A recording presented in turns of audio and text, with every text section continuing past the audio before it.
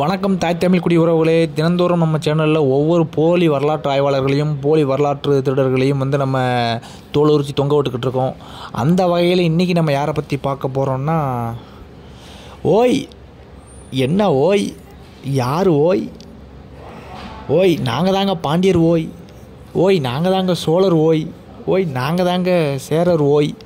அந்த ஓயை பற்றி தான் இன்றைக்கி பார்க்க போகிறோம் ஐயரு விட்டுல மாமி உன் திறமைய நீ காமி உன்னை காப்பாத்தணும் சாமி ஐயரு விட்டுல மாமி ஐயரு விட்டுல மாமி உன் திறமைய நீ காமி உன்னை காப்பாத்தணும் சாமி ஓய் ஓஹோய் நம்ம ஓய்க்கு ஒரு சத்தமாக ஒரு கோவிந்தாவை போட்டு வாங்க வீடியோக்குள்ளே போகலாம்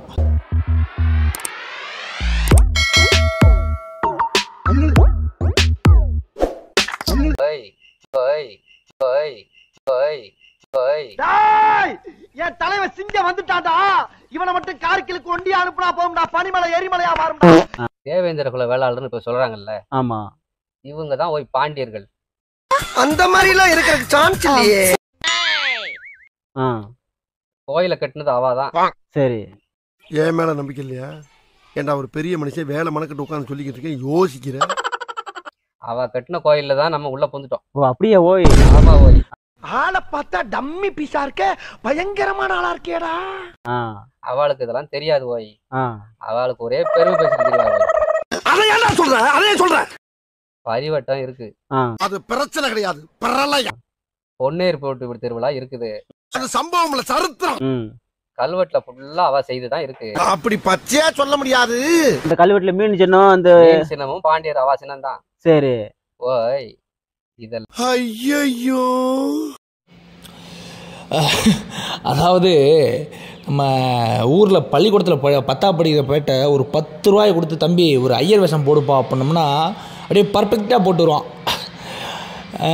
அதுக்கு கூட போட தெரியாமல் கிரிக்கெட் பேட்டு உடஞ்சதுன்னா நம்ம ஒரு நாடகம் நூல் சுற்றுவோம் பார்த்தீங்கன்னா சின்ன பிள்ளையில்? அந்த நூலை வலது கிடவக்கமாக கட்டி ஐயர் எப்படி வேஷம் போடுவார் பூணூல் எப்படி கட்டுவார்னு தெரியாமல் கோமாளித்தனமாக ஒரு வேஷம் போட்டு வந்திருக்காப்புல இந்த போலி ஐயர். நீ ஐயர் வேஷம் போடு அனுமார வேஷம் போடு ஆட்டுக்குட்டி வேஷம் போடு. ஆனால் உன்னை எதுக்கு இந்த வீடியோவில் வச்சு உன்னை தோல் உரிக்க போகிறோம்னா வீடியோ பாரு. நீ என்ன பேசியிருக்கேன்னு தெரியும். நம்ம பேசிட்டு போயிட முடியாது. வரலாற்று பூர்வமான சண்டை. பாண்டியர்களை வீழ்த்துவதற்கு துணை போனவர்கள் தமிழர்கள். அதிலும் குறிப்பாக இன்றைக்கு பாண்டியரை தேடி நாம் பயணம் வெக்கமாக இல்லை உங்களுக்கு? பாண்டியர்கள் வீழ்த்துவதற்கு துணை போய்விட்டு பாண்டியரை தேடி பயணம் என்று சொல்வதற்கு உங்களுக்கு வெக்கமாக இல்லை? நான் கேட்கிறேன். அதாவது இந்த சோத்துக்கு வழி இல்லாத சொர்ணமுத்து என்ன சொல்கிறாப்புலன்னா பாண்டியரை வீழ்த்த துணை போனவர்கள் நீங்கள் நீ எல்லாம் வந்து பாண்டிய தேடி பயணம்னு சொல்லிட்டு அலையதுக்கு உனக்கு வெக்கமாக இல்லை அப்படின்னு சொல்லி நம்ம பழைய பாண்டியர் வரலாறுகளை அழிந்து வரும் பாண்டிய வரலாறுகளை மீட்டெடுக்கக்கூடிய நம்ம பாண்டிய தேடி பயணம் குழுவை வந்து விமர்சித்து பேசியிருக்காப்புல ரொம்ப தரக்குறைவாக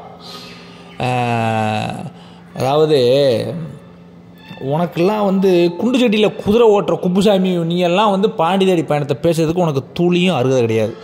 ஏன்னா வீட்டுக்குள்ளே உட்காந்துட்டு ஒரு சின்ன ஒன்றரை நான் செல்ஃபோனில் வந்து வீடியோ போட்டுட்டு பேசுகிறேன் நாய் நீ.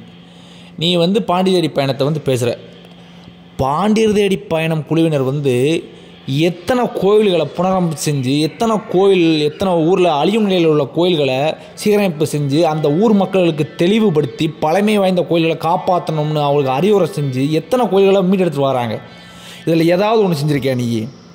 உனக்கு சந்தேகம் இருந்தால் பாண்டிய தேடி பயணம் குழுவோட தளத்தில் போய் பாரு. அவங்க எத்தனை கோயில்களை புனரமைப்பு செஞ்சுட்டு வராங்கன்னு தெரியும்.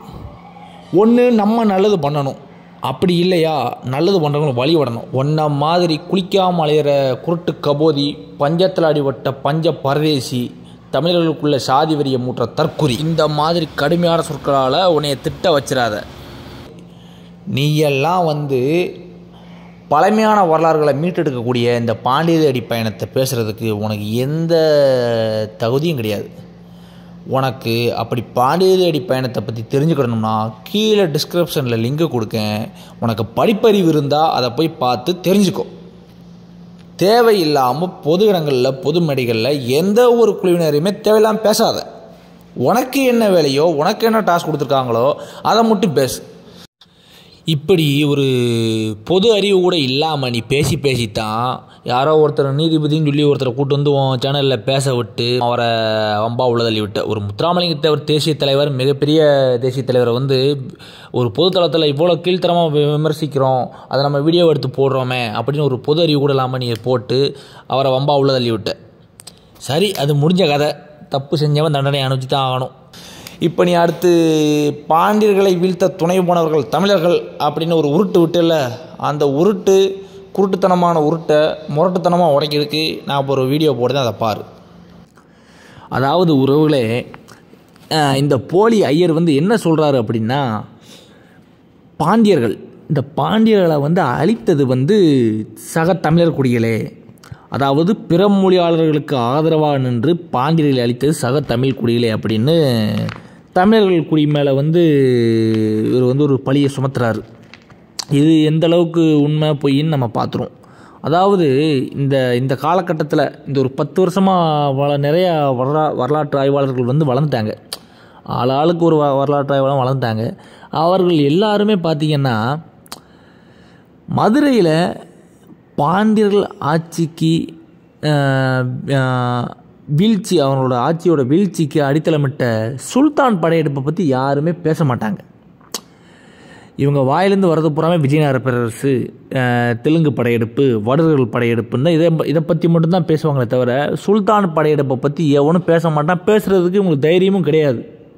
ஏன்னா அது மதம் சார்ந்து போயிடும் அப்படிங்கிற பட்சத்தில் எதிர்ப்பு அதிகமாயிரும்ட்டு இந்த நாய்கள் யாருமே வந்து சுல்தான் படையெடுப்பு படையெடுப்பில் வந்து பேசவே மாட்டாங்க. ஏன்னா அவங்களுக்கு ஒரு பயம். ஏன்னா உண்மையை உண்மை உண்மைத்தனமாக சொல்கிறது தான் நம்மளோட சேனல் நம்ம உண்மையை என்னென்னு பார்த்துருவோம். அதாவது பாண்டியர்கள் வீழ்ச்சிக்கு காரணம் யார்? பாண்டியர்கள் ஆட்சி எதனால் அழிவுக்கு வந்ததுங்கிற நம்ம உண்மையை பார்த்துருவோம். தெளிவாக அந்த வீடியோவை பாருங்கள் வரலாற்று உண்மையை பேசுகிறவனும் சரி வரலாற்று பொய்யை பேசுகிறவனும் சரி இது நல்லா கரெக்டாக வந்து பார்த்துட்டு அப்புறம் கமெண்டில் வந்து கதறுங்க சாரி உறவுகளே ஒரு பத்து நிமிஷத்துக்கு பிளேடு போடுறாப்புல இருக்கும். ஏன்னா அந்த மாதிரி போலி வரலாற்று ஆய்வாளர்களை தோல் உரிக்கிறதுக்காண்டி நம்ம பேசி தான் வரலாறுகளை. நீங்கள் கொஞ்சம் பழடிச்சு பார்த்துக்கோங்க. அதாவது உறவுகளே நான் கொஞ்சம் சுருக்கமாக சொல்லிடுறேன். என்ன அப்படின்னா மதுரையில் நல்லபடியாக ஆட்சி போய்கிட்டு இருக்கு பாண்டியர்கள் ஆட்சி அதாவது பதிமூணாம் நூற்றாண்டு காலகட்டத்தில் வந்து குலசேகர பாண்டியன் வந்து மதுரையை ஆட்சி செஞ்சுட்டு வரார். அவருக்கு வந்து ரெண்டு பசங்க சுந்தரபாண்டியன் வீரபாண்டியன். இதில் பார்த்தீங்கன்னா வீரபாண்டியன் வந்து அவரோட அடுத்த மனைவிக்கு இரண்டாவது மனைவிக்கு பிறந்தவர். சுந்தரபாண்டியன் வந்து அவரோட முதல் மனைவிக்கு பிறந்தவர் முறைப்படி பையன். ஆனால் இதில் ரெண்டு விதத்தில் வந்து சிறந்த போர் முறையும் சிறந்த வீரமும் ஒரு அரச அரசனாக தகுதியுடைய எல்லா குணமும் வந்து வீரபாண்டியனுக்கு இருக்குது அதனால் குலசேகர பாண்டியனுக்கு வந்து வீரபாண்டியனே முடிச்சு விட்டணும் அப்படின்னு நினைக்காது. இது வந்து சுந்தரபாண்டியனுக்கு பிடிக்கல. உடனே சுந்தரபாண்டியன் என்ன செய்கிறாப்புல தந்தை தன்னுடைய தந்தையான குலசேகர பாண்டியனை வந்து கொன்றுறாப்புல. கொன்ன உடனே வீரபாண்டியன் வந்து அவ சுந்தரபாண்டியனுக்கும் வீரபாண்டியனுக்கும் மறுபடியும் இந்த மாதிரி அப்பாவை கொண்டான் அப்படின்னு சொல்லிட்டு அவங்களுக்குள்ள பிரச்சனை மோதல் ஸ்டார்ட் ஆகுது. ஒரு பகைமை உருவாகுது. அப்போ என்ன பண்ணுறாப்புல மக்கள் பூராமே வீரபாண்டியனுக்கு ஆதரவாக இருக்கும்போது சுந்தரபாண்டியன் என்ன செய்கிறாப்புல சொந்த ஊருக்குள்ளே நடக்கிற சண்டையை வந்து தீர்க்க விட்டுவிட்டு டேரெக்டாக அவர் தான் ஒரு தேவையில்லாத வேலையை பார்க்காப்புல. எங்கே போகிறாரு நேராக தமிழ்நாட்டை விட்டு டெல்லிக்கு போகிறார் டெல்லியில் போய் மாலிக் கபூர்கிட்ட படைகள்கிட்ட போய் சொல்கிறார் மாளிகோட்டை போய் இந்த மாதிரி முறையிடும்போது இந்த மாதிரி நீங்கள் வாங்க தமிழ்நாட்டில் வந்து எனக்கு ஆச்சரியார்த்த மறுபடியும் மீட்டு கொடுங்க அப்படின்னு சொல்லி சும்மா போன ஓனான வேட்டி இழுத்து விட்ட கதையாக உள்ளெழுத்து வரப்படும் தமிழ்நாடு. அது வரைக்கும் தமிழகத்தையே பார்க்காத அந்த சுல்தான் படைகள் வந்து தமிழகத்துக்குள்ளே வரும்போது ஆஹா தென்கோடி முனையில் இப்படி ஒரு உலகம் இருக்குது இப்படி ஒரு அழகிய நகரங்கள் இருக்குது இப்படி ஒரு கோயில்கள் இருக்குது இவ்வளோ பொன் பொருள்கள் இங்கே இருக்குது அப்படின்னு சொல்லி அவன் வந்தவன் பஞ்சாயத்து பேச விட்டு போட்டு ரெண்டு பேர்த்தையும் அடித்து பற்றி விட்டு இருக்கிற டோட்டல் மதுரையை மதுரை சுற்றி உள்ள சிதம்பரம் கோயில் திருச்சியில் உள்ள ஸ்ரீரங்க எல்லா கோயிலையுமே இருக்கிற என்னென்ன கோயில்கள் வளமிக்க கோயில்கள் என்னென்ன கோயில்களோ எல்லாத்தையும் சூறையாடி இந்து கோயில்கள் எல்லாத்தையுமே சூறையாடி எல்லா வளங்களையுமே மீட்டுட்டு போகிறான் போயிட்டு மறுபடியும் வராங்க.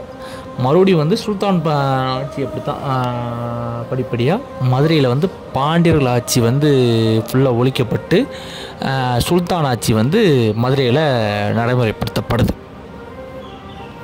அதே மாதிரி இந்த சூழ்நிலையில் தென்னிந்தியாவில் மட்டும் ரெண்டு டைம் சுல்தான்களோட முகமதியர்களோட படையெடுப்பு வந்து ரெண்டு டைம் நடந்திருக்கு.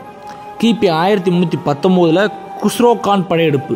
கிபி ஆயிரத்தி முந்நூற்றி இருபத்தி மூணில் முகமது பின் துக்ளக் என்று அழைக்கப்பட்ட உலுக்கான் படையெடுப்பு. உலுக்கான் மதுரையை வென்று ஆட்சியை கைப்பற்றுறாப்புல. இவன் தான் பாண்டிய அரசனை வென்று டில்லி சுல்தான்களின் ஆட்சியை முதன் முதலில் ஆயிரத்தி முந்நூற்றி இருபத்தி மூணில் நிறுவுறாப்புல. பாண்டி நாடு துக்ளக் ராஜ்யத்தின் இருபத்தி மூணு மாகாணங்களில் ஒன்றாக இணைக்கப்பட்டது. சில ஆண்டுகளுக்கு பிறகு டில்லி சுல்தான் தொடர்பை அகற்றிவிட்டு ஜலாலுதீன் ஆஷான் ஷா தன்னை மதுரை சுல்தானாக பிரகடனப்படுத்தி கொண்டான். மதுரையில் சுல்தான் ஆட்சி நிறுவப்பட்டது. கிபி ஆயிரத்தி முந்நூற்றி முப்பத்தி ஐந்து முதல் கிபி ஆயிரத்தி முந்நூற்றி எழுபத்தெட்டு வரை மாபார் சுல்தான் சுல்தான்கள் ஆண்டனர். ஜலாலுதீனுக்கு பிறகு அலாவுதீன் உடாஜி குதுபுதீன் கியாசுதீன் நாசிருதீன் அடில் ஷா பக்ருதீன் முபாரா ஷா அலாவுதீன் சிக்கந்தர் ஷா போன்றோர் மதுரை சுல்தான்களாக அரசாண்டனர். ரொம்ப ஷார்ட்டாக பார்த்துருவோம். எப்படி சுல்தான்கள் படையெடுப்பில் வந்து என்னென்ன நடந்துச்சு அப்படின்னு.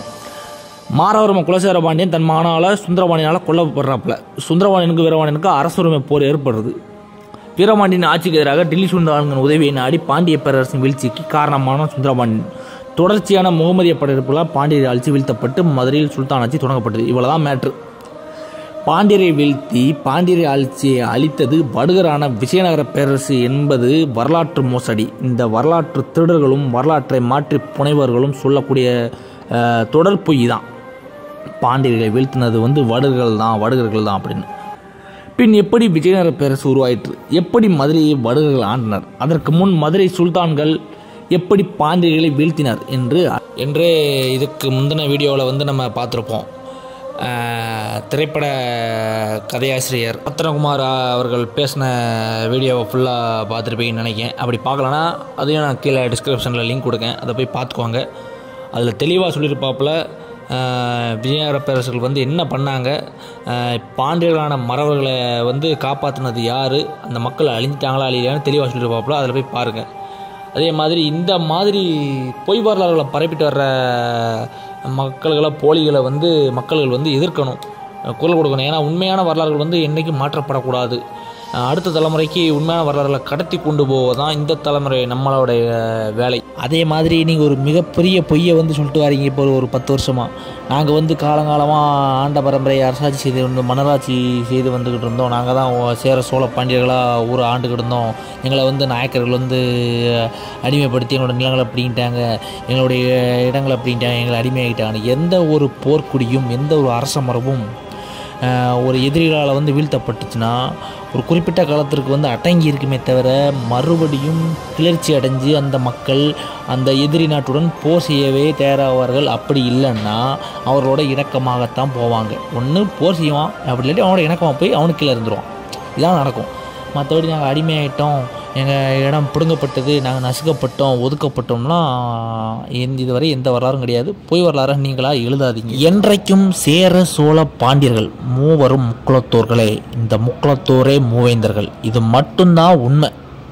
மீண்டும் அடுத்த ஒரு காணொளியில் போலி வரலாறு பேசும் போலி வரலாற்று ஆய்வாளர்களை தோழிருப்பதற்காக காத்து கொண்டிருக்கிறோம். நன்றி வணக்கம் உறவுகளே. ஓய் ஓஹோய் வரட்டா ஓய். முதல் நடைமுறை என்னன்னா இங்க வந்த தெருவில் வரும்போது நாங்க பாண்டியா வாங்கணும் இது சொல்லலைன்னா மறுநாள் அவனுக்கு அடி.